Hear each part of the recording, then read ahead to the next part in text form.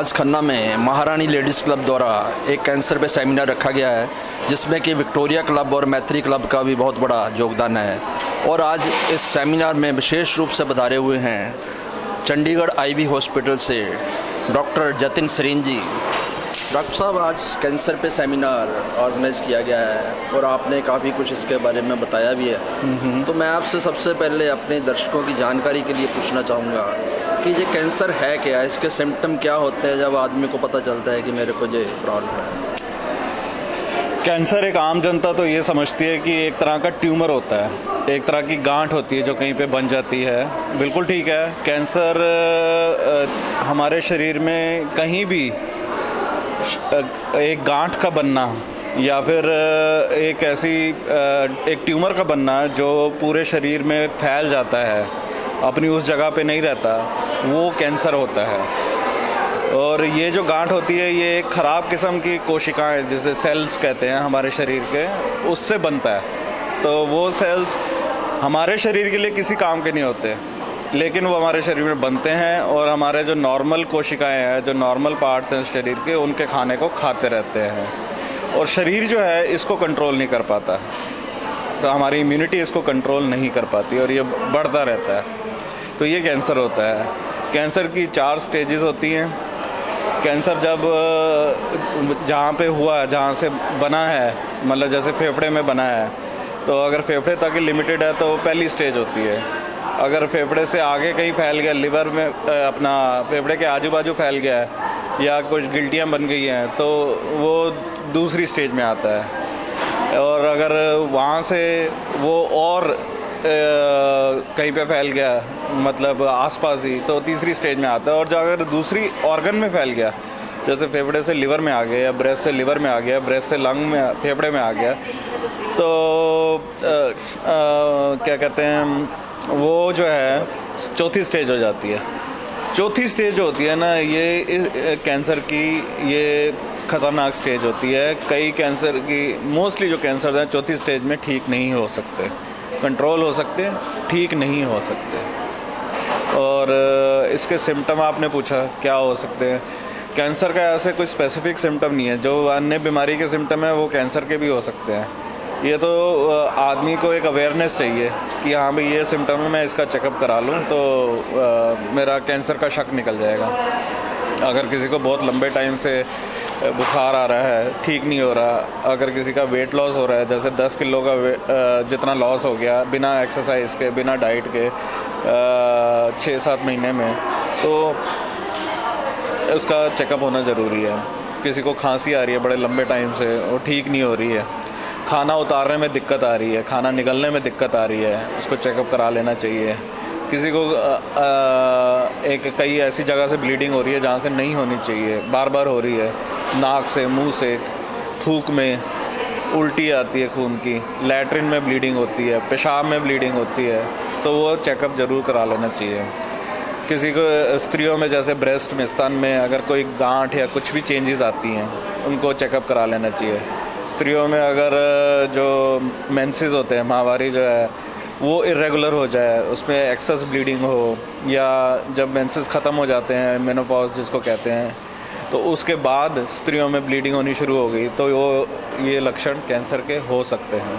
तो इसी तरह से कोई भी लक्षण जो कि ज़रूरी नहीं कैंसर के हों किसी और अन्य बीमारी के हो सकते हैं लेकिन 20 परसेंट केस में ये इसमें कैंसर डायग्नोसिस हो जाता है।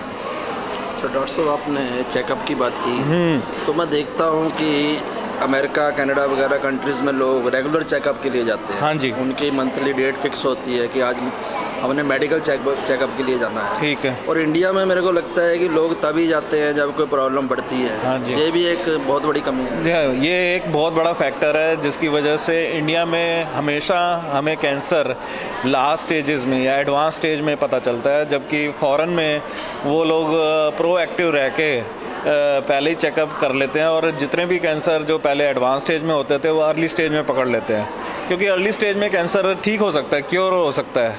जड़ से निकल सकता है, लेकिन एडवांस स्टेज में कैंसर की जड़ से निकलने की जो परसेंटेज है वो बहुत कम हो जाती है। वो आपका सिर्फ़ कंट्रोल हो सकता है। जड़ से नहीं जाएगा, आपके शरीर को छोड़ेगा नहीं वो।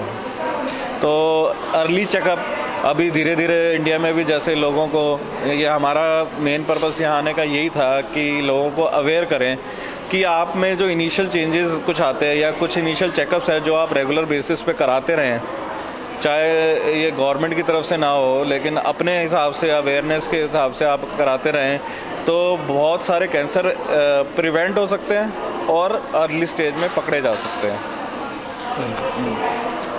हमारे साथ हैं डॉक्टर विजय बांसल जी, जो कि हेड हैं department of cancer surgery Ivy hospital Mohali से। डॉक्टर साहब, अभी सरीन साहब ने भी बहुत सी बातें बताई। तो मेरे मन में एक बात खटकती रहती है कि पंजाब में कैंसर बहुत ज़्यादा दिन ब दिन बढ़ता जा रहा है। और मैंने एक वीडियो देखी बठिंडा की, उसमें एक पैसेंजर आके टिकट विंडो पे कहता है कि एक कैंसर वाली ट्रेन की टिकट दे दो। तो कहने का मतलब ही वो इलाका इतना ज़्यादा उस पर सफ़र कर रहा है। देखिए, कैंसर दो तरह से होते हैं। एक तो कैंसर हो सकता है कि किसी को अपने परिवार से मिला हो, फैमिली से मिला हो, पहले परिवार में है, मिल गया।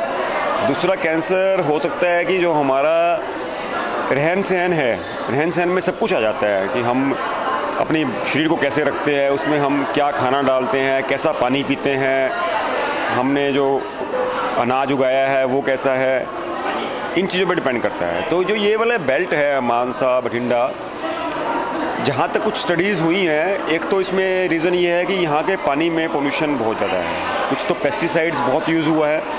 एक थ्योरी ये बोलती है कि जो पिछले सालों में जब पैदावार बढ़ाने के कारण पेस्टिसाइड का यूज़ बहुत गलत तरीके से किया गया है। यानी कि नहीं करना चाहिए बट वो अनकंट्रोल हुआ है। और एक थ्योरी ये भी है कि यहाँ के पानी में न्यूक्लियर मटेरियल है रेडियो एक्टिव मटेरियल है, जो बमों, बम बनाने में या न्यूक्लियर प्लांट्स में यूज़ होता है। तो यहाँ के पानी में वो है, जिसके कारण यहाँ के लोगों को उसका नुकसान उनके शरीर में होता है। और इस कारण यहाँ के लोगों में कैंसर बनने की संभावना ज़्यादा है।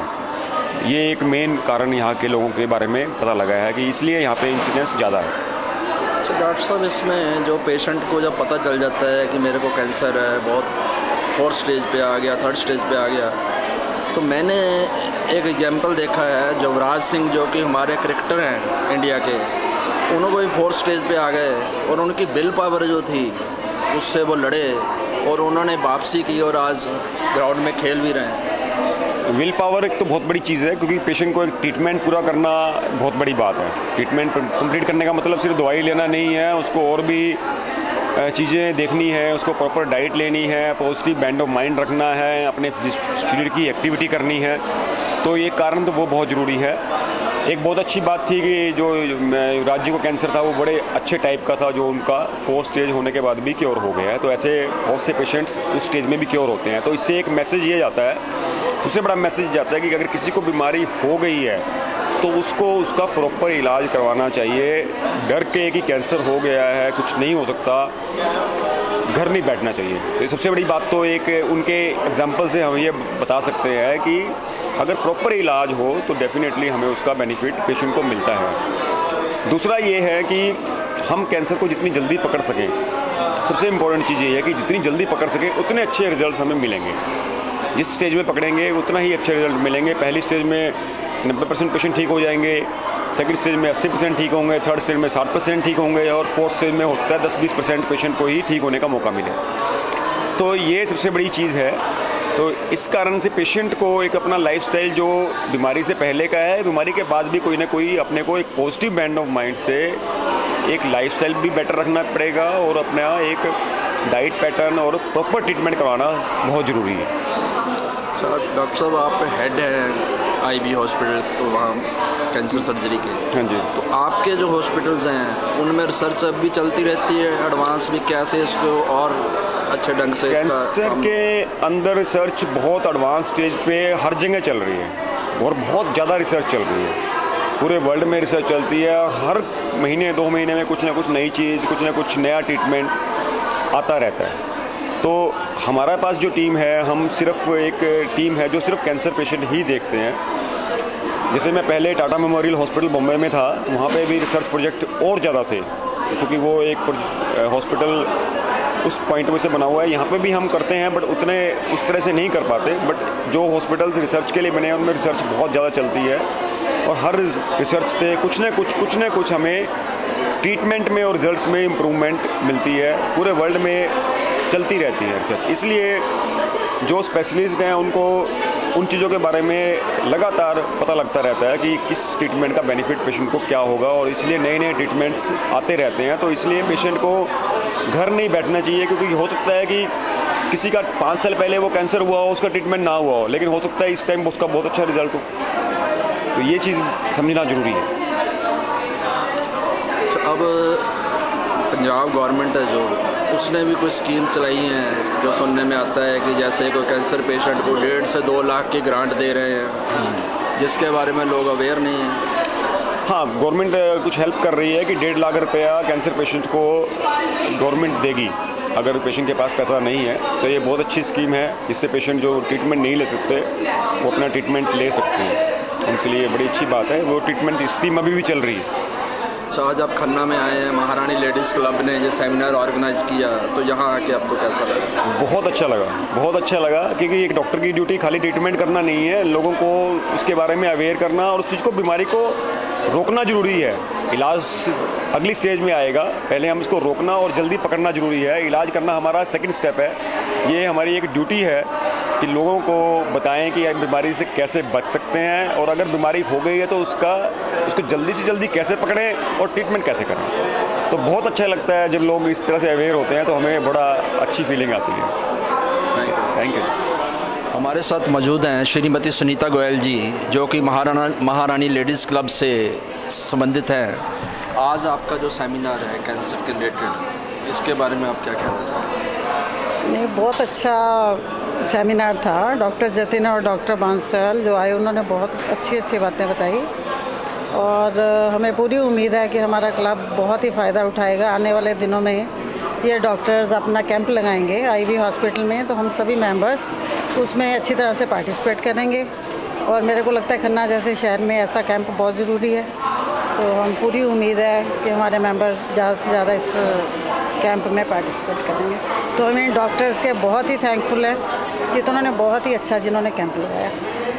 आपका क्लब आज जो सेमिनार तो किया ही आपने और भी कौन कौन से सोशल एक्टिविटीज़ में पार्ट ऐसे कोई ख़ास सोशल तो कुछ भी नहीं करते हम तो।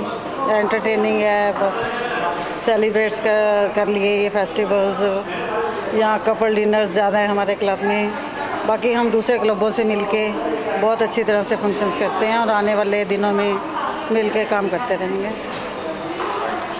हमारे साथ उपस्थित हैं श्रीमती उषा गुप्ता जी, जो कि विक्टोरिया क्लब की प्रेसिडेंट है। आज जो महारानी लेडीज़ क्लब ने जो कैंप ऑर्गेनाइज किया, आपने भी इसमें हिस्सा लिया तो आपको यहाँ कैसा लगा? बहुत हमारी लेडीज़ में बहुत ज़्यादा अवेयरनेस आई है। हमारी लेडीज़ बहुत खुश हैं कि ऐसे ऐसे डॉक्टर्स हमें अवेलेबल है, हमारे शहर में आके मतलब हमें इतना गाइड करते हैं। तो हमारी लेडीज़ बहुत ज़्यादा खुश हैं और हम मेंबर्स मेंबर्स ना, हम सारे मेंबर्स इन डॉक्टर्स के लिए बहुत ज़्यादा थैंकफुल हैं जो उन्होंने हमारे साथ इतना कोऑपरेट करके हमें इतनी सारी नॉलेज दी। आपका क्लब भी और प्रोजेक्ट लेता है? हाँ जी हमारा क्लब ऑल ईयर राउंड हमारा सारा साल चलता है कोई ना कोई प्रोजेक्ट हम लोग करते रहते हैं।